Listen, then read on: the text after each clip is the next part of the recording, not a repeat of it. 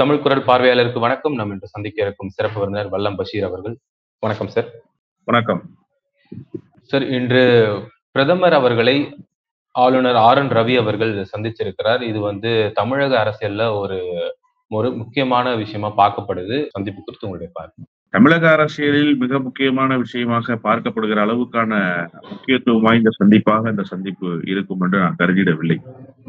வழக்கம் போல அவர் நான்கு மாதங்களுக்கு ஒரு முறை பிரதமரை சந்தித்து நான் என்ன பேச வேண்டும் எப்படி இயங்க வேண்டும் என்கிற கருத்துக்களை கேட்டுவிட்டு வருவார். வந்ததற்கு பிறகு ஒரு சர்ச்சைக்குரிய கருத்தை இங்கே வந்து பேசுவார். அவர் மனம் போன போக்கில் திராவிடம் என்பதெல்லாம் இல்லை என்பார். சமஸ்கிருதம் தான் மூத்த மொழி என்பார். தமிழ்நாடு என்று சொல்ல மாட்டேன் என்பார். பிறகு தமிழ்நாடு பிரட்டி போட்டு அவரை அடித்ததற்கு பிறகு கருத்தியல் ரீதியாக அந்த கருத்துக்களை பின்வாங்கி கொண்டு மீண்டும் தமிழ்நாடு என்றே சொல்வார். எல்லாவற்றையும் உள்ளடக்கியேதான் திராவிடம் தமிழ் மட்டும் இல்லை என்ற கருத்தை மாற்றிக்கொள்வார் இப்படி பல சர்ச்சைக்குரிய செய்திகளை கடந்த காலங்களில் அவர் பேசி அதுக்கான மன்னிப்புகளை எல்லாம் கேட்டு டெல்லிக்கு ஓடியதும் உண்டு. டெல்லியிலிருந்து கேட்டு வந்து இங்கே வாய்க்கு வந்ததை எல்லாம் உளறியதும் உண்டு. இப்போது இரண்டு விஷயங்கள் பிரதானமாக பேசுபொருளாகி இருக்கிறது தமிழ்நாட்டில். ஒன்று பகுஜன் சமாஜ் கட்சியினுடைய மாநில தலைவராக இருந்த மரியாதைக்குரிய அண்ணன் ஆம்ஸ்ட்ராங் அவர்கள் படுகொலை செய்யப்பட்ட சம்பவம். சிபிசிஐடிக்கு மாற்றப்பட வேண்டும் என்று ஒரு கோரிக்கை எழுந்திருக்கிறது. அது குறித்து ஆளுநரை சந்திப்பதற்கு நேரம் கேட்டிருக்கிறார் அவருடைய துணைவியார் பொற்கொடி என்கிற செய்திகள் வந்து கொண்டிருக்கின்றன. இன்னொன்று இந்த விஷச்சாராயம் அருந்தி உயிரிழந்தவர்களுடைய வழக்கு சிபிசிஐடிக்கு மாற்றப்பட வேண்டும் என்ற ஒரு கோரிக்கை எழுந்திருக்கிறது. இது இரண்டும் தன்னிடத்திலே கோரிக்கையாக வந்தால் என்ன செய்வது? எப்படி ஒரு நெருக்கடியை திராவிட முன்னேற்ற கழக அரசுக்கு கொடுப்பது என்று உத்தரவுகளை நீங்கள் பிறப்பித்தால் அதை கேட்டு செயல்படுத்துவதற்கு நான் தயாராக இருக்கிறேன் என்கிற ரீதியில் நேரடியாக பிரதமர் அவர்களை சந்தித்து அந்த உத்தரவுகளை கேட்டு வருவதற்காகத்தான் அவர் போயிருக்கிறார் என்றுதான் நான் புரிந்து கொள்கிறேன். மற்றபடி சிறப்பு வாய்ந்த சந்திப்பு என்று சொல்லத்தக்க அளவுக்கு ஒரு சிறப்பு வாய்ந்த சந்திப்பாக இந்த சந்திப்பு இருக்காது என்றுதான் நான் புரிந்து கொள்கிறேன். இன்னொன்று அவருக்கு தனிப்பட்ட சில காரணங்கள் இருக்கிறது. அவர் பதவி காலம் முழுமையடைகிறது. இப்போது அவருக்கு பதவி நீட்டிப்பு வழங்குவதா அல்லது புதிய ஆளுநரை நியமிப்பதா என்கிற கேள்வி உள்துறை அமைச்சகத்தில் எழுந்திருக்கிறது. எனவே என்னை மீண்டும் ஆளுநராகவே வைத்துக் கொள்ளுங்கள். என்னை வீட்டுக்கு அனுப்பி விடாதீர்கள் என்று மோடியினுடைய கரங்களை பிடித்து கெஞ்சுவதற்காக கூட அவர் போயிருக்கலாம் என்றுதான் நான் புரிந்து கொள்கிறேன். முழுமையான செய்தி குறித்து ஆளுநர் மாளிகையும் இதுவரை அறிக்கை வெளியிடவில்லை. பிரதமர் தரப்பிலிருந்தும் எந்த செய்தியும் சொல்லப்படவில்லை. ஊடகங்களிலும் அவர் எதற்காக சந்தித்தார் என்கிற செய்தி இதுவரை புரியவில்லை. எனவே இந்த நிலையிலிருந்து இந்த மூன்று காரணங்களுக்காகத்தான் அவர் ஆளுநரை சந்தித்த பிரதமரை சந்தித்திருக்க வேண்டும். அதை தவிர்த்த வேறு எந்த காரணங்களும் இருப்பதாக எனக்கு தெரியவில்லை. எனவே இந்த சந்திப்பு முக்கியத்துவம் வாய்ந்த சந்திப்பு என்றும் நான் கருதவில்லை. இந்த சந்திப்பின் மூலம் தமிழ்நாட்டில் பெரிய அரசியல் மாற்றங்களை நிகழ்த்தப் போகிறார் ரவி என்றும் நான் நம்பவில்லை. இப்போ மூன்றாவது முறையாக பிரதமராக மோடி அவர்கள் பதவியேற்ற பிறகு இது வந்து முதல் சந்திப்பு அப்படிங்கிறது பார்க்கப்படுது. இதனால் வந்து இப்போ மத்திய அரசிடமிருந்து அவர் ஏதாவது தமிழ்நாட்டுக்கு பெற்று தருவாரா அப்படிங்கிற மாதிரியான ஒரு எண்ணமும் மூன்று ஆண்டுகளாக திமுக ஆட்சியை ஆளுநர் அவர்கள் என்ன மாதிரியான நெருக்கடிகள் கொடுத்தார் அப்படிங்கிற ஒரு விஷயம் வந்து பார்க்கப்படுது. இந்த டைம்ல இப்ப சமீபத்துல நடந்திருக்கக்கூடிய தமிழ்நாட்டுல நடந்திருக்கக்கூடிய விசச்சாராய மரணமும் இந்த ஆம்ஸ்டாங் அவருடைய படுகொலை குறித்தும் வந்து அவர் பேச இருக்கிறார் அப்படிங்கிறது வந்து அனைவராலும் பார்க்கப்படுது. இந்த தகவல்ல இது இதனால் தமிழக அரசுக்கு இவர் என்ன மாதிரியான அழுத்தங்கள் கொடுப்பார் அப்படின்னு பார்க்கணும் டெல்லி போய் தமிழ்நாட்டுக்கு ஏதாவது பெற்று தருவாரா என்று கேட்டால் அவர் கடந்த காலத்தில் அப்படியெல்லாம் எதையும் செய்தவர் இல்லை. இன்னொன்று ஆளுநருக்கு அதற்கான அதிகாரமே கிடையாது சார். ஆளுநர் போய் எல்லாம் மாநில அரசுக்கு தேவையான ஒரு விஷயத்தை ஒன்றிய அரசிடமிருந்து பெற்றெல்லாம் வர முடியாது. அவருக்கு கொடுக்கப்பட்டிருக்கிற படி என்பது போஸ்ட்மேன் ஜாப் ஆளுநருக்கு அப்படித்தான் ஒரு படி என்ன செய்ய வேண்டும் என்று சொன்னால் ஒன்றிய அரசுக்கு தமிழ்நாட்டிலிருந்து சொல்லப்பட வேண்டிய செய்தியை ஒரு மீடியேட்டரா இருந்து தமிழ்நாட்டிலிருந்து அவர் சொல்லலாம். அங்கிருந்து சொல்கிற செய்தியை எடுத்து வந்து இங்கே தமிழ்நாடு அரசுக்கு சொல்லலாம். இந்த வேலையைத்தான் அவர் செய்ய முடியுமே தவிர எந்த திட்டங்களையும் அங்கிருந்து பெற்று வருவதற்கு இவர் நாடாளுமன்ற உறுப்பினரும் இல்லை. இவர் ஒன்றிய அமைச்சரும் இல்லை இவர் தமிழ்நாட்டினுடைய முதலமைச்சரும் இல்லை. அப்படியெல்லாம் எந்த அதிகார பொறுப்பும் ஆளுநருக்கு கொடுக்கப்படவில்லை. புரோட்டோகால் படி அப்படி அவர் செய்யவே முடியாது. அப்படி செய்வது போன்ற ஒரு தோற்றத்தை வேண்டுமானால் ஏற்படுத்திக் கொள்ளலாமே தவிர மக்களை நம்ப வைக்கலாமே தவிர அவருடைய அதிகாரத்துக்கு உட்பட்டதா என்று கேட்டால் அது அவருடைய அதிகாரத்துக்கு உட்பட்டது அல்ல. இன்னொன்று நெருக்கடி கொடுப்பதற்கான எல்லா வேலைகளையும் செய்வார்கள். அதற்காகத்தானே ரவியை இங்கே கொண்டு வந்து போட்டார்கள். இல்லை என்று சொன்னால் நாகாலாந்திலிருந்து விரட்டி அடிக்கப்பட்டவர் ரவி. அங்கே ஒரு தவறான நடவடிக்கைகளை மேற்கொண்டு அந்த மக்களினுடைய வெறுப்பை சம்பாதித்து அதன் மூலமாக அந்த மாநிலத்தில் இருந்து வெளியேற்றப்பட்டவர் தான் ரவி. அவர் வெளியில் ஏறுகிற போது பத்திரிகையாளர் சந்திப்புக்கு பத்திரிகையாளர்களுக்கு விருந்து கொடுப்பதற்காக ஒரு கூட்டத்தை ஏற்பாடு செய்தால் அதற்கு கூட பத்திரிகையாளர்கள் பங்கேற்கவில்லை என்று சொல்கிற அளவுக்கு ஒரு கடுமையான எதிர்ப்புக்கிடையில் தான் அவர் அந்த மாநிலத்தில் இருந்து வெளியேறி வந்தார். இந்த நிலையில் இவர் தமிழ்நாட்டுக்கு வந்ததே தமிழ்நாடு அரசுக்கு ஒரு நெருக்கடியை தர வேண்டும் என்கிற ஒரே காரணம் தான் அதை தவிர வேறு எந்த விதமான காரணமும் அவர் இங்கே நியமிக்கப்பட்டதற்கு பின்னால் இல்லை. அந்த வகையில் நான் முன்பே குறிப்பிட்டதை போல தமிழ்நாட்டில் பல சர்ச்சைக்குரிய கருத்துக்களை பேசுவார். சர்ச்சைக்குரிய நடவடிக்கைகளை அவர் செய்வார். சே- சேலத்தினுடைய பெரியார் பல்கலைக்கழகத்தினுடைய துணைவேந்தரை அழைத்து இவர் பேசியதற்கு பிறகுதான் துணைவேந்தர் போய் அங்க தனியா ஒரு இன்ஸ்டியூட் ஸ்டார்ட் பண்ணி அதுக்காக காலேஜ் ஃபீஸ பெரியார் பல்கலைக்கழகத்திலிருந்து வசூல் பண்ணார். அதன் பிறகு அதை கண்டறியப்பட்டு உயர்கல்வித்துறை சார்பில் அவருக்கு நோட்டீஸ் அனுப்பப்பட்டு அவர் பணி இடைநீக்கம் செய்யப்பட்டார். நான்கு துணைவேந்தர்களை இவர் சந்தித்து பேசினார். இவர் சந்தித்ததற்கு பிறகுதான் அவர்கள் தவறான நடவடிக்கைகள் தயாரானார்கள். இப்படி ஒரு பேரலா ஒரு உயர்கல்வித்துறை அமைச்சர் செய்ய வேண்டிய பணியை அவர் செய்வதை போல ஒரு தோற்றத்தை ஏற்படுத்தி கொண்டு துணைவேந்தர்களை தானே நியமிப்பதாக கருதி துணைவேந்தர்களை அழைத்தெல்லாம் பேசிக் கொண்டிருந்த காட்சிகளை நாம் பார்த்திருக்கோம் பட்டமளிப்பு விழாவுக்கு தயாராகி இருந்த மாணவர்களுக்கு தேதி கொடுக்காமல் பட்டங்களை கொடுக்காமல் அந்த மாணவர்களை காத்திருக்க வைத்ததையும் நாம் கடந்த காலத்தில் பார்த்திருக்கிறோம். இப்படி எல்லா வகையிலும் பல்வேறு நெருக்கடிகளை தமிழ்நாடு அரசுக்கு அவர் கொடுத்திருக்கிறார். இனிமேலும் அவர் கொடுப்பதற்கு தயாராக இருக்கிறார். நான் அதனால் தான் முன்பே குறிப்பிட்டு சொன்னேன் இவர் டெல்லியினுடைய சந்திப்பு என்பதே இங்கே என்ன நெருக்கடியை ஏற்படுத்திட வேண்டும் என்பதை அங்கே சென்று கேட்டு வருவதற்காகத்தான் டெல்லிக்கு போயிருக்கிறார் என்பதுதான் யதார்த்தமான உண்மை. அதில் மிக முக்கியமான செய்தி இப்போது அண்ணாமலை போன்றவர்கள் சட்ட ஒழுங்கு பிரச்சனை தமிழ்நாட்டில் ஏற்பட்டிருக்கிறது என்று பேசி வருகிற இந்த சூழலில் இதையே காரணமாக வைத்து தமிழ்நாட்டில் ஒரு அரசியல் மாற்றத்தை ஏற்படுத்தி விடலாம்.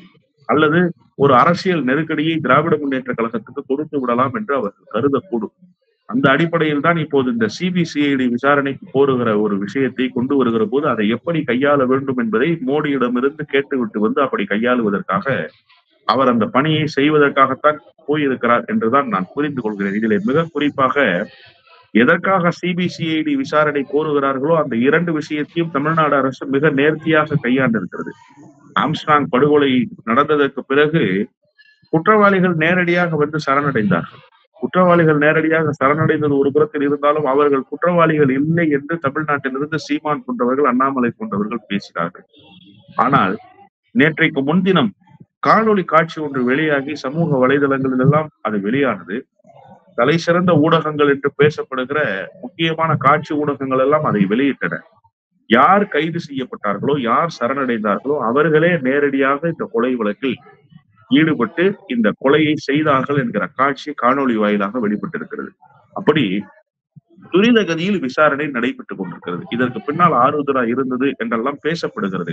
அது குறித்த விசாரணை முறையாக நடைபெறும் என்று உத்தரவாதத்தை முதலமைச்சர் கொடுத்திருக்கிறார். யாரிடத்திலே கொடுத்தார்? நாட்டு மக்களிடத்திலே கொடுக்கவில்லை. மாறாக அவர் நேரடியாக மறைந்த ஆம்ஸ்டாங் அவர்களுடைய இல்லத்துக்கு சென்று அவருடைய மனைவி பொற்கொடியை சந்தித்து அவரிடத்திலேயே அந்த உத்தரவாதத்தை கொடுத்து விட்டு வந்தார். வந்தது மட்டுமல்ல அவர் தன்னுடைய சமூக வலைதளத்திலும் அந்த செய்தியை பதிவு செய்தார். இந்த படுகொலை நடந்த போது மெத்தனமாக இருந்ததாக கருதப்பட்ட காவல்துறையினுடைய ஆணையர் பணிமா பணியிட மாற்றம் செய்யப்பட்டார். அதன் பிறகு விசாரணைகள் துரித கதியில் நடைபெற்று வருகிறது என்பதெல்லாம் எல்லோருக்கும் தெரிந்த செய்திதான். அதே போன்றுதான் கள்ளச்சாராய விவகாரத்திலும்.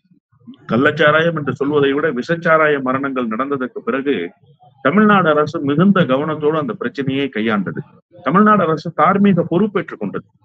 இதற்கு அரசு முழு பொறுப்பேற்கிறது இதற்கு அரசுதான் காரணம் என்று எல்லோரும் சொல்வதை நாங்கள் ஏற்கிறோம்னு யார் சொன்னார்னா அமைச்சர் வேவா வேலுவே களத்தில் போய் நின்று சொன்னார். அந்த காட்சிகளை எல்லாம் நாம் பார்த்தோம் முறையான விசாரணை நடைபெறுகிறது.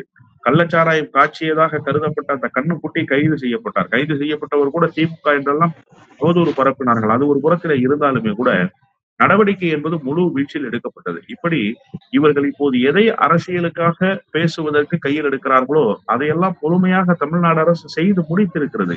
இதில் கூட அரசியல் செய்வதற்கான வாய்ப்பை தமிழ்நாடு அரசு ஏற்படுத்தவில்லை. ஆனாலும் தமிழ்நாடு அரசுக்கு குறிப்பாக திராவிட முன்னேற்ற கழகத்துக்கு ஏதாவது ஒரு வகையில் நெருக்கடியை தர வேண்டும். இப்போது என்ன சூழல் என்று சொன்னால் இந்திய துணை கண்டம் முழுமைக்கும் ஏதாவது ஒரு சிறிய வெற்றியையாவது பாரதிய ஜனதாவால் கண்ணில் பார்க்க முடிந்தது.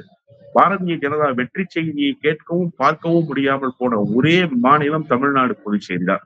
இந்த நாற்பது இடங்களில் தான் ஒரு இடத்தில் கூட அவர்களால் ஒரு வெற்றி செய்தியை கேட்கவே முடியவில்லை. அவர்களுக்கு கால் பதிப்பதற்கான வாய்ப்பே இல்லை என்று சொல்லப்பட்ட கேரளாவில ஒரு நாடாளுமன்ற உறுப்பினர் பொறுப்பு அவர்களுக்கு கிடைத்து விட்டது. நடிகர் சுரேஷ் கோபி வந்து விட்டார். அவரும் அமைச்சராகிவிட்டார் ஆனால் இப்போது தமிழ்நாட்டிலிருந்து எந்த செய்தியும் அவருக்கு கிடைக்கவில்லை. கடந்த காலத்தில் கன்னியாகுமரியில் பொன் ராதாகிருஷ்ணன் வெற்றி பெற்ற செய்தி எல்லாம் அவர்களுக்கு கிடைத்த வரலாறு உண்டு.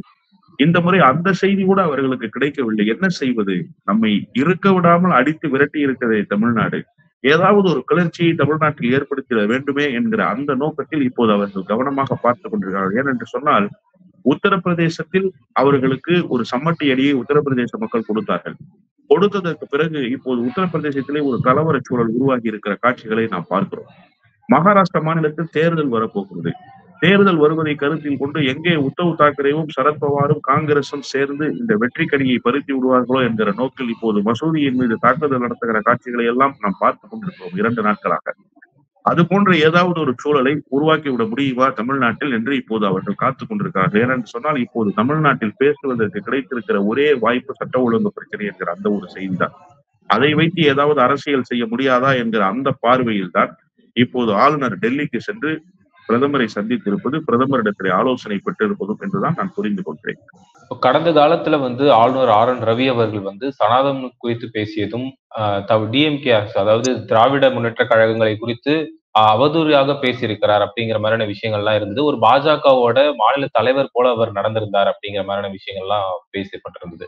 இப்போ இந்த நாடாளுமன்ற தேர்தலின் பொழுது எல்லாமே வந்து அவர் அமைதியா இருந்தாரு அப்படிங்கிற அவர் எந்த ஒரு பேச்சும் அவர் எந்த ஒரு கருத்தும் சொல்லலை அப்படிங்கிற மாதிரியான ஒரு விஷயம் இருக்கும் பொழுது இப்ப எதிர்கட்சியினர் எல்லாருமே வந்து திமுக அரசை குற்றம் சாட்டி அதாவது இந்த கள்ளச்சார இந்த கள்ளக்குறிச்சியில் நடந்திருக்கக்கூடிய அந்த விசச்சார மரணங்களுக்கு வந்து சிபிஐக்கு மாற்றணும் அந்த வழக்குங்கிறது சிபிஐக்கு மாற்றணும்னு சொல்லி அவங்க கோரிக்கை வச்சதை பாக்குறோம் பாஜக இல்லாம அதிமுக தேமுதிக இது போன்ற மற்ற எதிர்கட்சியினரும் அங்கு கூடி அவரிடம் அந்த கடிதம் கொடுத்ததெல்லாம் வந்து அவங்களுக்கு வந்து எக்ஸ்ட்ரா பலம் சேர்த்தது போல இருக்கு.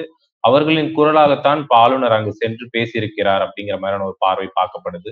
ஆளுநரை பொறுத்த வரையில அதிமுகவினுடைய குரலாகவோ நாம் தமிழர் கட்சியினுடைய குரலாகவோ அவர் ஒழித்தார் என்றெல்லாம் நான் புரிந்து கொள்ளவில்லை. அப்படியெல்லாம் அவர் ஒழிப்பதற்கு தயாராகவும் இருக்க மாட்டார். ஏன்னா அவர் பெரிய கட்சிக்கு ஏஜென்டா இருக்காரு. சின்ன கட்சிக்கு ஏஜென்ட் ஆகிறதுக்கு அவர் விரும்ப மாட்டாரு. நீங்க எப்பவுமே ஒரு பெரிய நிறுவனத்துல சிஇஓவா இருக்கிறவங்க சின்ன நிறுவனத்துல வந்து சிஇஓவா இருக்க விரும்ப மாட்டாங்க. அன்லஸ் அன்டில் ஒரு நல்ல பேக்கேஜ் கொடுக்காததை தவிர. நல்ல பேக்கேஜ் ஆஃபர் பண்ணீங்கன்னா அவங்க பெர் ஆனம் டுவெல் லேக்ஸ் கொடுக்குறாங்க. நீங்க பெர் ஆனம் எயிட்டீன் லேக்ஸ் கொடுக்குறீங்க. அப்படின்னா சின்ன நிறுவனங்களுக்கு அவர்கள் வருவதற்கு யோசிப்பார்கள். இப்போ ஒரு சோபஸ்டிகேட்டடான லைஃப் அவர் வந்து அந்த பேக்கேஜ்ல லீட் பண்ணிக்கிட்டு இருக்கிறாரு. இவ்வளவு பெரிய கவர்னர் மாளிகை ஆள் அம்பு சேனை எல்லாம் கொடுத்திருக்கிறது பாரதிய ஜனதா கட்சி. எனவே பாரதிய ஜனதா கட்சியினுடைய குரலாகத்தான் அவர் ஒழிக்க வேண்டும் என்றுதான் எப்போதும் விரும்புவார். அதுதான் அவருடைய தலையாய பணி. எனவே வேறு கட்சிகளுடைய குரலாக அவர் ஒழிக்க வேண்டும் என்று விரும்ப மாட்டார். நீங்க சொன்னீங்க நாடாளுமன்ற தேர்தலின் போதெல்லாம் அமைதியாக இருந்தார் அது பாரதிய ஜனதா கொடுத்த அசைன்மெண்ட் நீ வாயை வச்சுக்கிட்டு சும்மா ஏரியா கிடைக்கிற நாலு ஓட்டாவது கிடைக்காம போயிடாது நீ பேசாம இருந்தாலே போதும் என்கிற அந்த ஒரு உத்தரவை அவருக்கு பிறப்பித்திருப்பார்கள். ஏனென்று சொன்னா இவர் பேசி பேசியே தான் பாரதிய ஜனதா கட்சியை இந்த நிலைமைக்கு கொண்டு போனார். பாரதிய ஜனதா கட்சிக்கு கேடு வந்ததற்கு காரணமே ரெண்டு பேர் தான். ஒண்ணு அண்ணாமலை இன்னொன்னு அண்ணாமலையினுடைய அண்ணனாக இருக்கிற ரவி. இந்த ரெண்டு பேரும் சேர்ந்து தான் பாரதிய ஜனதா கட்சிக்கு கேட்டை உருவாக்கினார்கள். இல்லை என்று சொன்னால் கூட பாரதிய ஜனதா கட்சி ஏதாவது ஒரு ஒரு சுமூகமான சூழலிலாவது தமிழ்நாட்டு அரசியலில் இயங்கி இருக்கும். வெற்றியை பெற்றிருக்கும் என்றெல்லாம் நான் கருதவில்லை. அதற்கு எந்த காலத்திலும் தமிழ்நாட்டில் இடமில்லை. அது வேறு செய்தி. ஒரு சுமூகமான சூழல் அந்த கட்சிக்கு உருவாகி அந்த கட்சியினுடைய பார்வை எல்லோரு பக்கமும் போய் சேர்ந்திருப்பதற்கான ஒரு சூழல் உருவாகி இருக்கும். இந்த ரெண்டு பேரும் சேர்ந்து திட்டமிட்டு அந்த கட்சியை நிர்மூலமாக்கிறார்கள் என்றுதான் நான் புரிந்து கொள்கிறேன். குறிப்பாக தமிழ்நாட்டுக்கென்று ஒரு தன்மை இருக்கிறது. நீங்கள் குறிப்பிட்டதை போல சனாதானம் குறித்தெல்லாம் அவர் பேசியது தமிழ்நாட்டுக்கென்று ஒரு தன்மை இருக்கு. தமிழ்நாடு இப்படித்தான் இயங்க வேண்டும் என்கிற கட்டமைப்பை தனக்குத்தானே உருவாக்கி கொண்டிருக்கிற ஒரு மாநிலம். இந்த மாநிலத்தில் நீங்கள் இப்படித்தான் இயங்க வேண்டும் என்கிற ஒரு இயங்கியல் இருக்கிறது. அதற்கு மாறாக நீங்கள் எந்த கட்சி வந்தாலும் இயங்க முடியாது. குறிப்பாக நான் ஒரே ஒரு செய்தியை சொல்கிறேன்.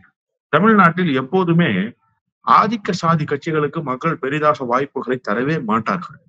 குறிப்பாக நீங்கள் கவனத்தில் கொண்டு பாருங்கள். பாட்டாளி மக்கள் கட்சி வன்னிய சமூகத்துக்கான கட்சி என்கிற அரசியலை முன்னெடுத்து வந்தது. அந்த கட்சிக்கு ஒரு பெரிய அங்கீகாரத்தை நாட்டு மக்கள் தந்தார்களா என்று கேட்டால் நிச்சயமாக தரமாட்டார்கள். அதற்கு பிறகு ஒடுக்கப்பட்டோருக்கான கட்சி என்று சொல்லிக் கொண்டு கிருஷ்ணசாமி வந்தார். அவருக்கான வெற்றியை அந்த மக்கள் தந்தார்களா என்று கேட்டால் தரமாட்டார்கள். ஜான் பாண்டியனும் அதை பேசிக் கொண்டுதான் வந்தார். அதற்கான வெற்றியை மக்கள் தருவார்களா என்று சொன்னால் தரமாட்டார்கள். இப்படி நீங்கள் வகுப்புவாத சிந்தனை கொண்டிருக்கிற மதவாத சிந்தனை சாதியவாத சிந்தனை அல்லது இனவாத சிந்தனை கொண்டிருக்கிற எந்த கட்சியையும் தமிழ்நாட்டில் அங்கீகரிக்காத ஒரு சூழல் இருக்கிறது என்று சொன்னால் நான் முன்பே குறிப்பிட்டதை போல தமிழ்நாடு தனக்குத்தானே ஒரு கட்டமைப்பை உருவாக்கி கொண்டிருக்கிற மாநிலம். இந்த மாநிலத்தில் இப்படித்தான் நீங்கள் இயங்க வேண்டும் என்ற ஒரு வரையறை இருக்கிறது. அதற்கு மீறி யார் இயங்கினாலும் அவர்கள் அங்கீகரிக்க மாட்டார்கள். சாதி வெறி பேசுகிற பாமகவையும் அங்கீகரிப்பதில்லை. மதவெறி பேசுகிற பாஜகவையும் அங்கீகரிப்பதில்லை.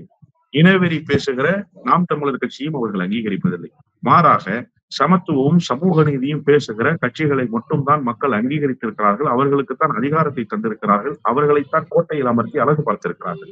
இப்படி ஒரு கட்டமைப்பு தமிழ்நாடு தவிர வேறு எந்த மாநிலத்திலும் இருப்பதாக நான் கருதவில்லை. இப்படிப்பட்ட மாநிலத்திற்கு வந்து நீங்கள் இந்த மாநிலத்தினுடைய தன்மைக்கு எதிராகவே பேசுகிற ஒரு சூழலை உருவாக்கியவர் ரவி. ரவி சனாதனம் குறித்து இங்கே வந்து பேச வேண்டிய கட்டாயம் என்ன இருக்கிறது? சனாதனம் குறித்த கருத்துக்கு இங்கே ஏதாவது ஆதரவு இருக்கிறதா? இங்கே பெரியார் படத்தை வீட்டில் வைத்துக் கொண்டு கோயில்களுக்கு சென்று சாமி கும்பிடுகிற வழக்கத்தை உடையவர்களாக தமிழ்நாட்டு மக்கள் இருந்திருக்கிறார்கள். மசூதிகளுக்கு சென்று வணக்க வழிபாடு செய்கிறவர்கள் பெரியார் குறித்த புத்தகங்களை வீட்டில் வைத்து படிக்கக்கூடியவராக இருந்திருக்கிறார் பெரியார் மீது துரும்பை தூக்கி எறிந்தாலும் முதல் குரலை எழுப்புகிற சமூகமாக இஸ்லாமிய சமூகம் இருந்திருக்கிறது. அப்போ இஸ்லாமிய சமூகம் கடவுள் இல்லை என்று பெரியாரை ஏற்றுக்கொண்டதா அல்ல? பெரியாரினுடைய பகுத்தறிவை உள்வாங்கி கொண்டிருக்கிறது.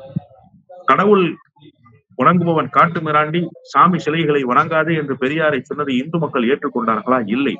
மாறாக பெண் பிள்ளைகள் எல்லாம் அடுகலையிலிருந்து பள்ளிக்கூடங்களுக்கு வர வேண்டும் வேலை வாய்ப்புகளை ஏற்படுத்திக் கொள்ள வேண்டும் கல்லூரிக்கு வர வேண்டும் அவர்கள் எல்லாம் வேலை வாய்ப்பிலே முன்னேற வேண்டும் என்று சொன்ன அந்த பெரியாரினுடைய தத்துவத்தை எடுத்துக்கொண்டவர்கள் இந்து சமூகத்தை சேர்ந்தவர்கள். எதற்காக இதை சொல்கிறேன் என்று சொன்னால் இந்த மாநிலத்துக்கென்று மீண்டும் மீண்டும் சொல்கிறேன் ஒரு தன்மை இருக்கிறது. அதற்கு எதிரான பேச்சுக்களை உதிர்த்தவர் யார் என்று கேட்டால் ரவிதான்.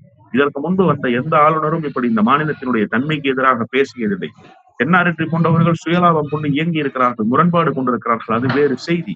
ஆனால் இந்த மாநிலத்தினுடைய தன்மைக்கு எதிராக செயல்படுகிற வேலையை ரவி செய்தார். அதற்கான பின்னடைவு பாரதிய ஜனதா கட்சியை வந்து சேர்ந்தது. எனவேதான் பாரதிய ஜனதா கட்சி இந்த தேர்தல் காலம் வரை நீங்கள் கொஞ்சம் அமைதியாக இருக்க வேண்டும் என்கிற வேண்டுகோளை அவருக்கு வைத்திருக்க கூடும் அதனால்தான் அவர் பேசாமல் இருந்தார். இப்போது தேர்தலும் முடிந்து விட்டது காட்சிகள் மாறிவிட்டது. மீண்டும் பேசுவதற்கு என்ன செய்தி என்று ஸ்கிரிப்ட் எழுதி வாங்கி வருவதற்காகத்தான் மோடியை அவர் சந்தித்திருக்கிறார் என்றுதான் நான் புரிந்து கொள்கிறேன். கடந்த காலங்களிலே வந்து ஆளுநர் ஆர் என் ரவி அவர்கள் திமுக அரசுக்கு எதிராக நிறைய விஷயங்கள் பண்ணியிருந்தாலும் இப்ப வந்து எதிர்க்கட்சியினர் எல்லாமே வந்து ஆளுநரை நாடி இருப்பதுதான் நம்மளால பார்க்க முடியுது. இந்த சந்திப்பு என்பது எப்படி இருக்கும் என்னங்கிற தகவல் வந்த பிறகு நம்ம பொறுத்திருந்து பார்ப்போம் சார். எங்களோட கேள்விகளுக்கு உங்களுடைய பல்வேறு கருத்துக்களை எங்களோட பகிர்ந்து மிக்க நன்றி சார். நன்றி.